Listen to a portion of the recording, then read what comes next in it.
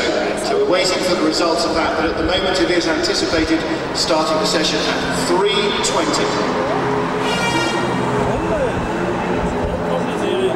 Also, zweite Runde, die Max Carpisten zusammen mit Chris Knife und um sich selbst einen Eindruck zu verschaffen. Max Carpisten, der hier noch gar keine Runde auch nicht mehr mit dem Mietwagen gedreht hat, äh, der Italiener, der einiges gut zu machen hat, hat doch zweimal vor der Fahrt da streiten. wir. Team.